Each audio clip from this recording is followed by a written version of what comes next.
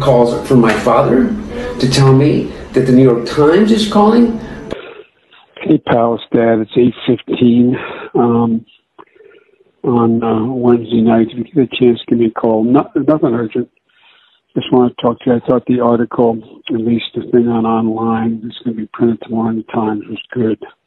I think it's clear. And uh, anyway, um, if you get a chance, give me a call. I love you. But my old partner Eric, who literally has done me harm for I don't know how long, is the one taking the calls because my father will not stop sending the calls to Eric. This is a detail of most, if not all, of the 27 meetings that Eric Schwerin, who was Hunter Biden's business partner, had at the White House uh, between 2008 and uh, 2016.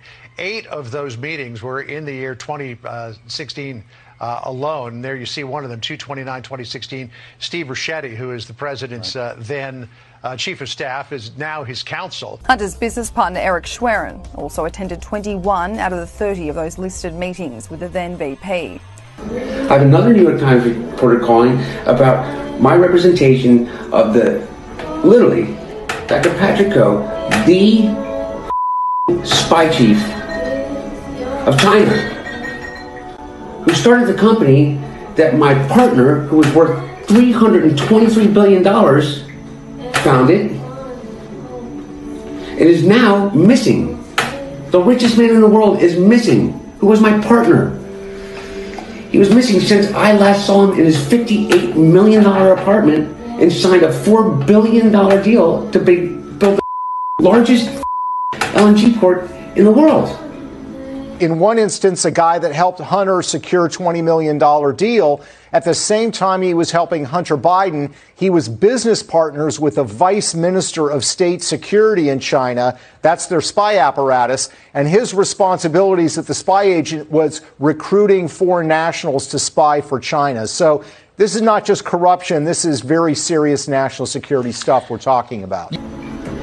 And I am receiving calls from the Southern District of New York, from the U.S. Attorney himself. My best friend in business, Devon, has named me as a witness without telling me in a criminal case, and my father without telling me. I just want to pause and just let that sink in a little bit. Devon Archer is now a convicted felon. He got a meeting in the White House with the Vice President of the United States. That's kind of a big deal. And I, would also like to point out that Southern District, uh, he mentions that they, that they were uh, uh, listed as witnesses. Hunter and Joe Biden listed as witnesses from Devon Archer in a Southern District of New York court case.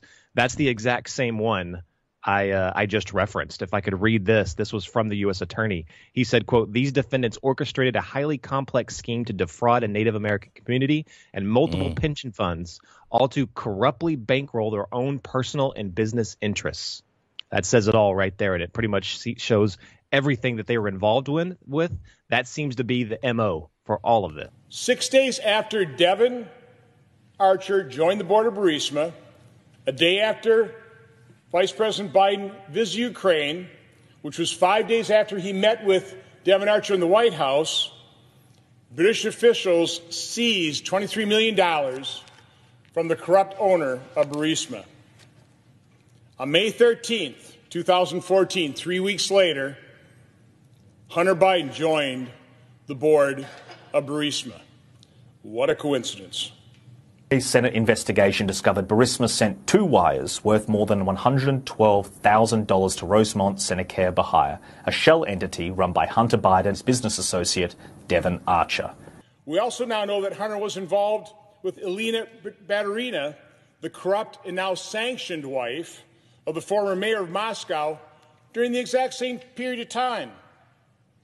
On February 14th, 2014, Baturina wired $3.5 million to Rosemont Seneca Thornton, an investment firm co founded by Hunter Biden. On April 13, 2014, nine days before Devon Archer joined the board of Burisma, Hunter Biden and Devon Archer discussed a potential deal involving Baturina. Archer wrote the Baturina quote, confirmed green light to fund deposit, unquote. Archer continued, quote, just spent two hours on the phone with Kiev. I am confident at this point this is a good, if not life changing, deal if the Ukraine doesn't collapse in the meantime. It sure looks like they intended to cash in on the turmoil in Ukraine.